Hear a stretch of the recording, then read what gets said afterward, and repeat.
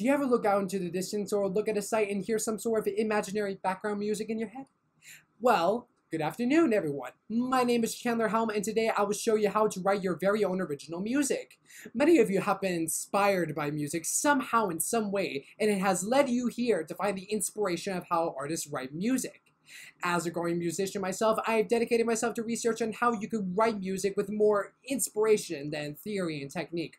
Although, don't get me wrong, they are both very vital when writing music. Today, I'll present to you on how to write music based on any picture you see in your head, thinking about the melody of that picture and the tone that brings the picture together.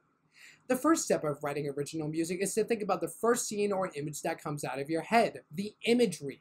Now, Take a moment and close your eyes for a second and think about the first image that comes to your head. Is it a beautiful sunset over in the distance? Is it a dark night but in the distance is a blue lit alleyway? Or is it a peaceful moment where you are sitting on a water fountain talking to a friend of yours? Keep that image in your head because according to an anonymously posted website article from Berklee Online called How to Write a Song Using Imagery, it says that focusing on imagery will make your lyrics stronger and paint a more vivid image for your listeners it is crucial to keep the setting in mind because you want to pull the audience into the setting and let them know where you are and your intent in being there. Then ask yourselves, what makes your image stand out? In an article written by Robert G.H. Burns called Depicting the Mary Historical Imagery in English Folk Rock, he describes an interview process where, to paraphrase him, musicians discussed issues encompassing the symbolism that joins ideas of public personality to a music scene that accepts conflicting notions of musical purity. When thinking of the setting for your original music, it is important to give it a sense of identity. How does it stand out? What is happening at the moment? What makes your image stand out? Now, take a few seconds to think about these questions, and when you thought of your very own image from your head, now it's time to find the melody. This will be the second step in writing original music, and some may say it's the base for it. But what is a melody? By definition, it's the linear succession of musical tones that the listener perceives as a single entity. So, for example, this. But why is a melody important when writing music? Well, in an article written by Caroline Palmer from McGill University called Listening, Imagining, Performing Melody as a Life Cycle of Musical Thought, she says that melody is defined as a distinct perceptual unit that exhibits stability and coherence to listeners and performers.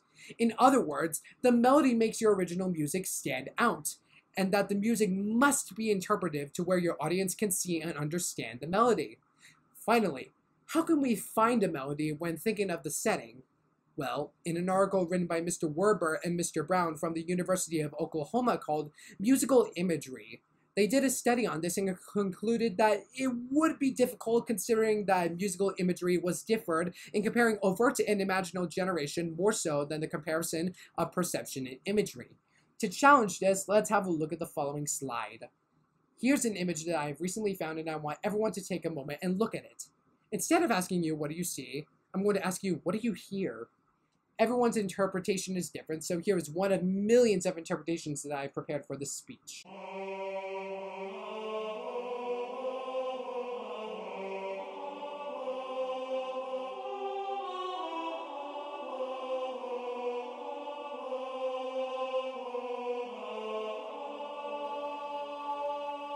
With your imagination, you can look at a picture like this or any image and you can generate a melody that would best suit this picture.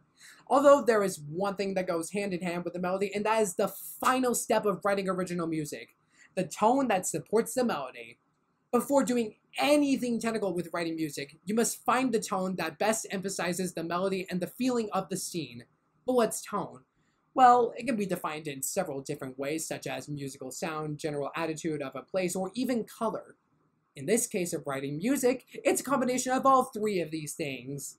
In a journal contributed by five different authors called Relations Between Musical Structures and Perceived and Felt Emotions, they did an experiment where they evaluated listeners' emotions by asking how would a normal people feel when listening to this music stimulus.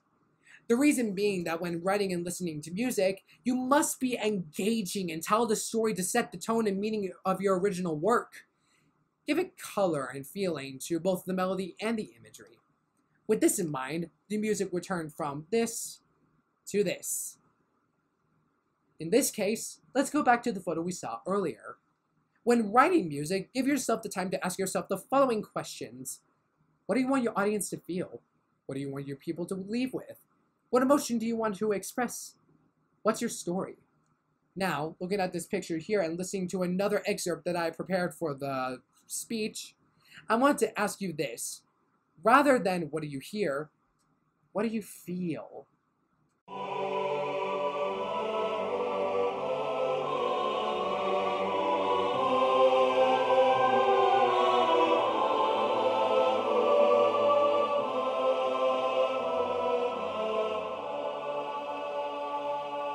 To paraphrase the words of an article written by Robinson Hatten called Emotions in Music, as we listen to the music we write, we would move on in an emotional journey in which our emotion feelings change as the music changes over time.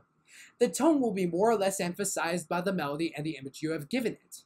In conclusion, writing music takes more thinking and inspiration than we would normally think.